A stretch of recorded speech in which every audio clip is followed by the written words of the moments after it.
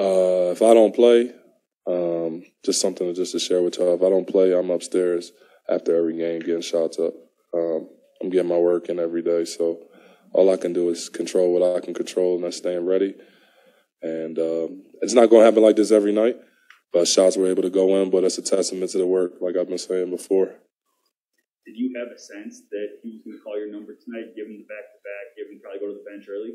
Yeah, when uh, when I um, knew that Will was going to be out, I knew there was an opportunity for me to potentially play tonight, and uh, just staying ready every game, but uh, a little more wired, knowing that uh, there was a real opportunity for me to get in tonight.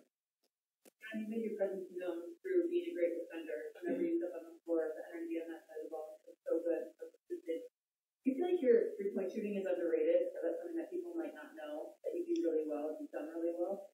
Yeah, um, I was I was trying to figure out what was one of the um, stigmas against me. You know, obviously uh, bouncing in and out of the league, um, and the question mark, which I found out kind of this year, was uh, the ability to shoot the three. Um, I was a forty percent shooter in college, so uh, I'm not quite sure why. It's always been a uh, lack of opportunity, not really the production. So um, it's definitely something that's that's been underrated, and a lot of teams are giving me open looks, and I'm grateful for that because um, those are just higher percentage shots for me. When you found out that that was something that maybe people questioning about you, did you work on that more? Did you try and make that more known, or what was the uh, part of your game? Well, um, the league has changed a lot over the last few years. Um, shooting more threes now than ever. Um, teams are shooting 60, 65, 50 plus uh, threes a game. So I know that's a big area uh, of the game today. So I just want to make sure that um, in the limited amount of opportunities that I am getting, I'm being efficient with my shots. David, when you see Moses Moody and Jordan Poole going off on- the bench, or like when you're sitting on the bench, are your eyes like lighting up? Like that's my assignment. Like I can take that assignment. Um, well, we, we try to defend by committee. Um, Austin did a pretty good job tonight as well.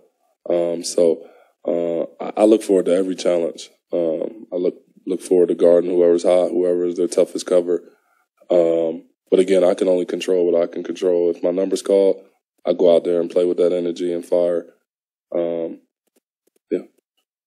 Davon, how do you continue to go about earning trust uh, through the group? Just when the when the lights aren't on, and just doing the work that you can while you can. again, that's just um, the things that are done behind closed doors, the amount of shots and work that we're putting in. And shout out to our PD staff; they do a great job of getting us right, working on certain things to to thrive out there when we do get our opportunities.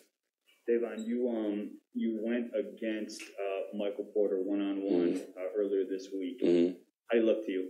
Mike looked really good. Um, still so so tough to cover. Just being six ten and being able, being able to shoot the way he does. Um, I'm excited for him to return. Um, but he looked good. Shot still looks pretty good, and um, just with more reps, I'm sure that he'll be able to fall right in line and, and get back out there and help us.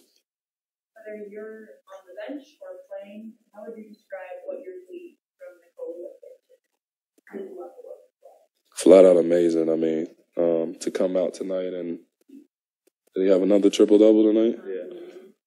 it's just it- it's uh, Monte and I were talking about it yesterday. We're kind of getting numb to the amount of just just how easily he does it and how effortlessly he does it. Um, that was last night, and then to come back and do it again tonight on the back to back, he's just an incredible player. And then uh, to me, he'll be the MVP again this year. What do you think of um, shooting shot? Oh, Jeff, Jeff, I got to figure out what Jeff has got going on. I need that.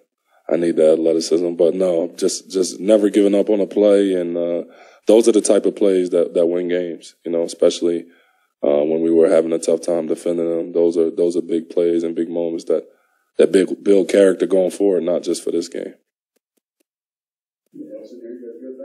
Appreciate you.